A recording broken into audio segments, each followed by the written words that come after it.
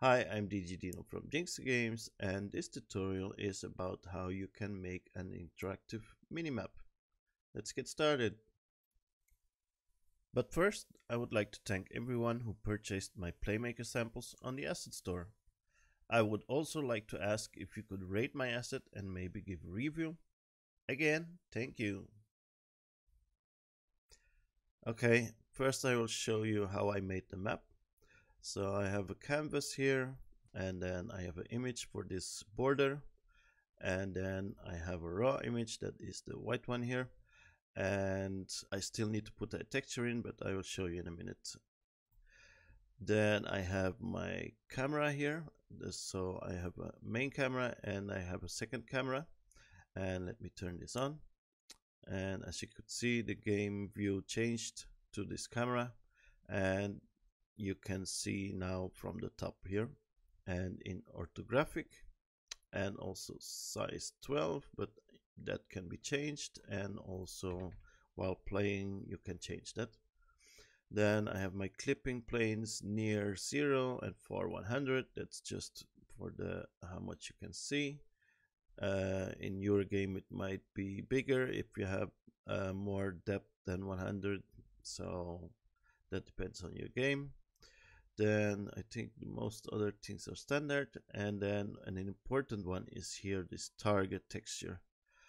In this target texture we need to place a render texture and let me go here and create a render texture and name this uh, test mini map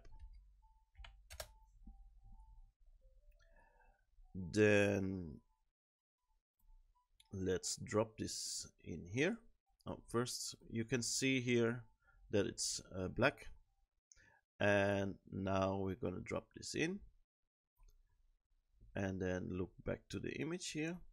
And now you can see it's showing the camera. So instead of the camera is showing it on the screen now it's gonna show it on this texture so then we go to our raw image and drop in this texture. And now we have our minimap. And it's that simple. Now next we'll go over to the FSMs so oh yeah also I have as a child here I have an object here just an empty object and I'm doing my raycast from here uh, and that I will explain you in a minute. So first I have here on my image an FSM here and I have this UGUI on pointer down event so it's waiting until I click on this. Uh, if I click outside nothing will happen. If I click somewhere here then I have an event. Then I have my calculator here and this is actually gonna calculate for my division and uh, you can also do, do this already manual if nothing will change. But I think even nothing will be changed it's still better to do it this way. Uh, it's not doing anything every frame so I think it's quite uh, quite light to do this. So uh, it depends on you. So what I'm doing here is rect transform get rect and I'm gonna get the rect width and the rect height. So I'm gonna get the width from this and the height from this. Then I have the get camera ortho size. So that is to get this ortho size. Uh, so if I would change it then it would be different also. So that's why I'm always getting this then I'm gonna divide the rect width and the rect height by 2 and the reason I do this because uh, for example if my width would be 200 um, the center will be 0 and uh, on this side would be negative 100 and on this side would be positive 100 and the total would be 200 so that's why I'm dividing this. Then after I've divided this by 2 I'm going to divide this again with the ortho size. And I do this both for width and height. And then I have my divider. And that one I'm going to use in the next state again to divide the correct position. Uh, I will show you in a second. So I have my rect width and rect height here and uh, I just use a single variable because I, am using this just once so I'm getting this and then I just want to divide and divide and then the result I want to use here. So you can just use a single variable. That's fine. Next I'm going to get my mouse position and I'm going to use rect transform screen point to local. That's a long one so what this does is it's going to get the local position on this texture by using the mouse position and going to store this in the local position.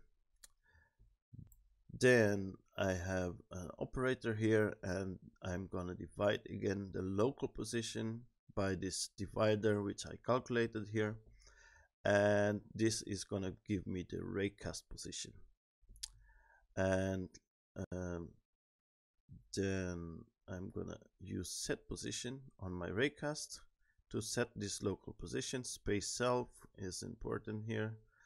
And then I'm gonna send an event to the raycast to cast a ray.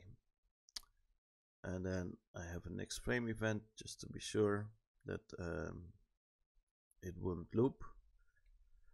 And let's go now to the raycast. So actually what will happen here. So when I get this position for example if I would press here then my raycast game object will move here and then do the raycast from there. Uh, if I would go here then it would go on this side and anywhere where I will push it would be on the correct position. So now let's show you the raycast. So I have my direction set in y minus 10 which means that I'm gonna go downwards with my raycast and the distance to 100 again this you can change larger if needed. And then I'm gonna store the object it hit. And I'm also gonna store the hit point. So the object and the position where it hit. Then in the next state I'm gonna compare the tag from the object that I hit. And if the tag is cubes so all these cubes have a have a cube tag. Let me show you quickly here. Cubes. And the floor is just untagged. And let's get back here. So if it's a cube then change material. So it won't uh, continue here. It would change the material and set to yellow and then go back to idle. But if I don't hit a box then I'm gonna move my camera. So I have moved towards and I have set my minimap camera and the store hit point.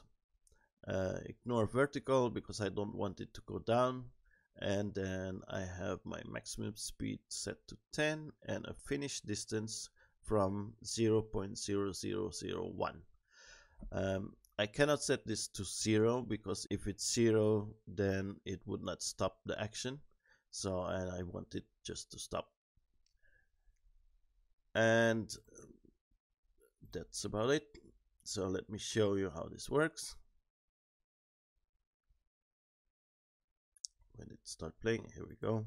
So when I click, it's gonna move around and when I click on an object it's gonna turn them to yellow. Thank you for watching. If you liked the tutorial, please like the video and don't forget to subscribe to my channel. You can support my work by becoming a patron at Patreon or donate me with PayPal or purchase my assets on the asset store. You can find the links in the descriptions below.